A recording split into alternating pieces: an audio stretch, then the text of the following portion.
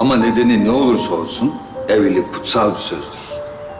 Her türlü zorlukta el ele beraberce yürümektir. Şimdi söz verin bana. Hep yan yana duracak, birbirinize destek olacaksınız. Yaman da senin gibi karanlığa düştü. O da yapayalnız kaldı. Eğer elleriniz ayrılmış olsa bile, kalpleriniz birse, birbirinizi o kör karanlıkta bulur, çıkışa birlikte yürürsünüz. Ya da yalnız yolu arar durursunuz.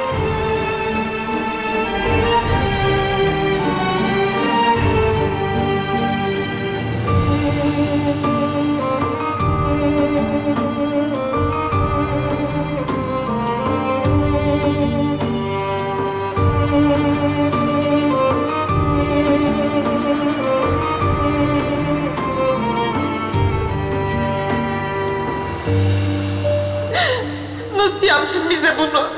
Nasıl yaptın? Görmüyor musun bize neler yaptığını? Bizi nasıl ayırdığını? Elini tutmak istiyorum. Tutamıyorum. Darmadağın ettin bizi. Sen bunca güzel duyguyu bir yalana nasıl hapsettin? Neden?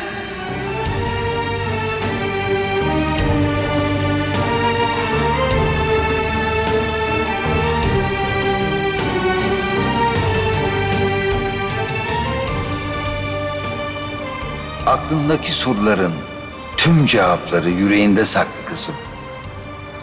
Ona sor. O sana sadece doğruyu söyleyecektir. Söz ateş parçası.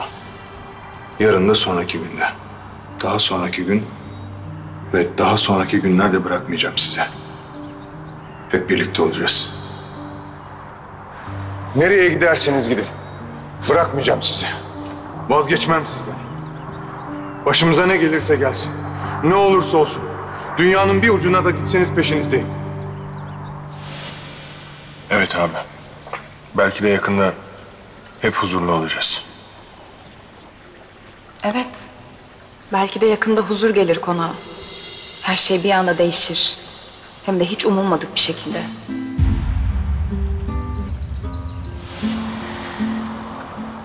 Bizden hiç vazgeçmedin.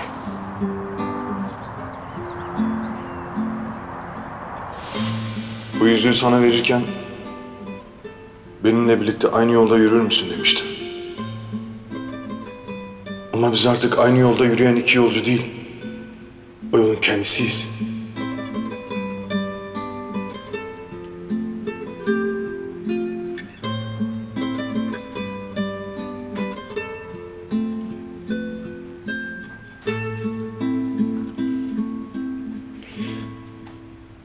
Senin canını yakarsan benimki de yanar.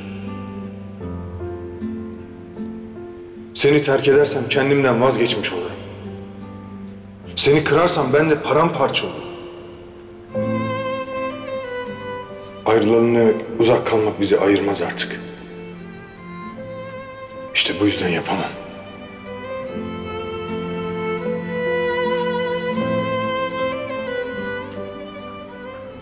Senden asla vazgeçmem.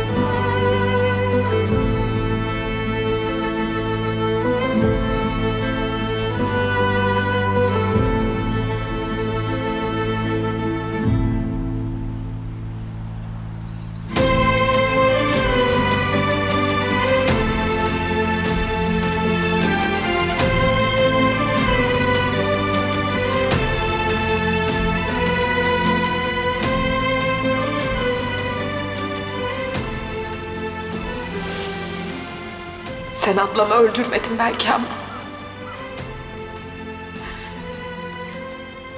Sen bizi öldürdün. Emanet'in yeni bölümlerini ve unutulmaz anlarını kaçırmamak için kanalımıza abone olmayı ve bildirimleri açmayı unutmayın. Hepinize sevgiler. Ekran başına.